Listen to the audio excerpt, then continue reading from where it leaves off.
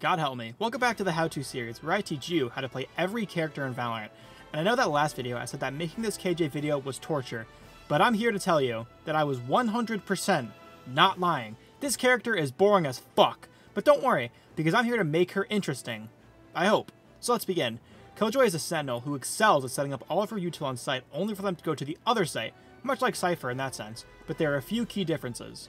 For starters, Killjoy's alarm bot and turret are not global like Cypher's, which means you have to be near the site you're defending to allow your util to be actually useful. But unlike Cypher, Killjoy's abilities do some sort of damage, whether it be actual damage like her Molly's or turret or her alarm bot which makes you deal double damage. So, with that, let's get started. The first step is to obviously lock in Killjoy. Sort of everything. Well, can't say I've ever seen someone get upset to have coach taken away from them in an unrated game, but oh well, let's move on. So, after taking out the flank, we can set up our alarm bot behind us to deal with the second flank, which eventually will happen. And now that I have that intel because of the alarm bot, this is easily round secure. A sheriff clip this early in the video, man, this shit got me feeling like Daniel Jones, the greatest quarterback of all time, and Malik Nabers. And in this case, I'd be Malik Nabers, and Danny Dimes was the other team, because they are serving themselves up to me on a platter. Just watch this catch. This is basically how the round went. But unfortunately for us, still is the Giants.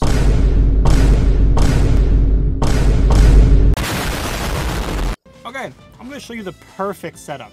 Turret in this corner, alarm bot over here to catch people that get way too far into sight. And finally, after all these utilities are placed, we can put a molly down, just to make sure that it pushes people towards the middle. And now all we gotta do is wait for the round to start. And they're, they're gonna go beyond, honestly. Fuck! Well, that's just Life of Killjoy main. Now it's time to introduce you to the fake Flash. You might be asking yourself, does Killjoy even have a Flash? No. No, she doesn't. But you have to remember that the people you're playing against barely have the average intelligence of a 5th grader, so you can make them think it's a flash by underhand throwing it and then swinging. Just look at this idiot who's definitely not distracted by the Razel and was definitely tricked by my genius. Now we can molly ourselves by accident before being pulled into a domain expansion. Now watch this disrespect. Jump swing through the shield to break his shield before strafing to get a kill. Like, I don't even, I, I just feel bad for him. Right, now that we've killed him, we can use our ult to take sight which you wind up doing with pretty much no problem. Then all we gotta do is basically run like a headless chicken through sight without any sort of a plan, because that's literally needed to win this game, especially when you have a Gekko who actually can't kill someone with their knife out. So let's try the fake flash one more time. Now it's time to show you the best setup on Split. There's no chance they survive when they push this. It's basically a free ace. Am I right? Look at all these setups. There's literally no way they can get through sight. They're gonna go B again. Well, that's it. No, I'm just kidding. As much as I want to end this video, I won't. I'll continue to make sure I teach you guys all the best strategies. Well, since Killjoy's kid is boring as fuck, we have our teammate, who obviously watched the How To Skye video, blind A main for us. We're able to pick up two kills before choking what easily could have been 4 to 5 if we didn't suck! Alright, now it's time for me to show you how to perfectly use Killjoy's ult. If you didn't know, Killjoy's ult will take 13 seconds to charge, and once it does, all players in that area will then be detained. Now, one way to avoid this ult is if you're playing Omen and you also have ult, you can press it right before KJ's ult pops, and then cancel it to catch enemies off guard. Now, the problem with this play in this scenario is actually two things. The first thing is I actually watched you ult, which means I'm ready for you to cancel it, and two, even if I didn't watch you ult, you still mistimed it, and then still got detained.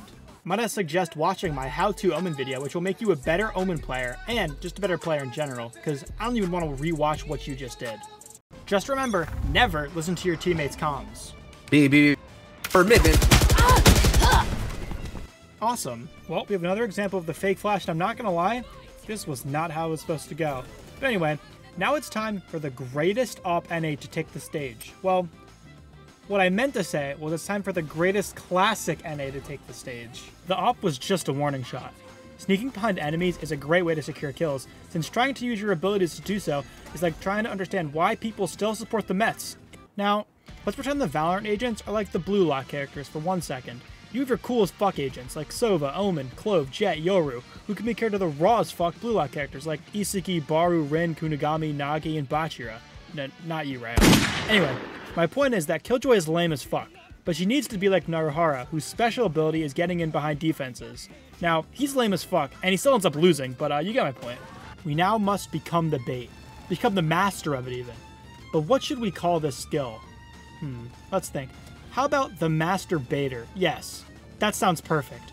We bait the enemies in with some classic shots for setting up the perfect position to get two kills, which is well worth it. Man, what kind of Looney Tunes uh, kill is this? I always gotta have one of these weird ass kills. Like, I don't even know how I end up in this situation.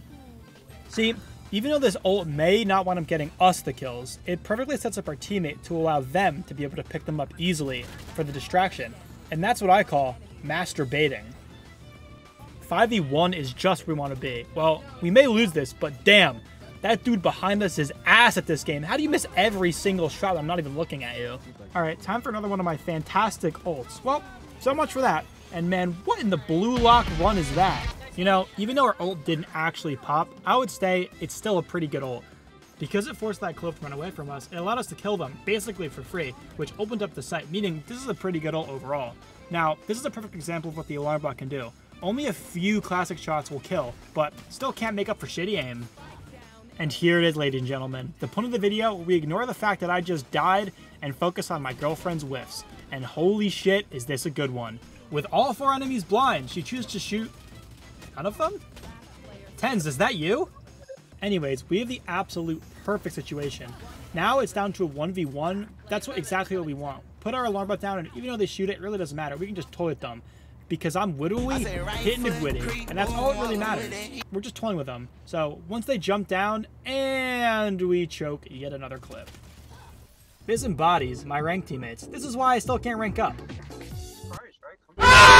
Well, I appreciate the donation of this Ares. I will do great things with it. Like killing the entire enemy team with just one gun. Have just been informed that hit YouTube channel Danny's Inferno has posted a new video that is all about Valorant. Legend says that I, Toast1Easy, also make an appearance in said video, so I would highly recommend going to check that out and also subscribing to their channel. The link to their channel will of course be in the description. So right now, back to video. Well, as I said before, slipping past the defense is the goal of Killjoy. And as you can see, this is exactly what we do, and we do it perfectly.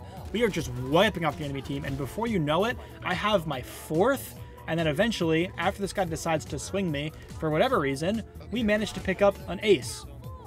Where is Raze looking? I gotta admit, I initially wasn't a big fan of the Outlaw when it was first announced, but it's been growing on me. The fact that I can, I mean, trade my teammates with one bullet guaranteed is just too good of an offer to pass up. As you can see, this is the perfect example of trading my teammates. Not baiting, not baiting, no, no, no. Trading. And you might say, how are you the last alive every single round? And to that I say, Round secured. Anyway, using all of your util to swing off of on defense is key to winning. It's also super helpful when they all have pistols, but um, you get the point. It, that's not really what we're trying to focus on here, so we can just ignore that. And kind of in the same situation, now our Molly actually helped us secure this kill, which is pretty great, I have to admit. Gotta get one clip at least, and I hate the Odin more than just about anything else in this world. But man, is this gun fun. This has to be what it felt like when Eve ate that apple in the Garden of Eden. It makes me feel like an inferior person, but holy shit, does this gun just shred through enemies like paper. I kind of feel like a bad person doing this, but at the same time, I like winning, so I'll take the trade-off.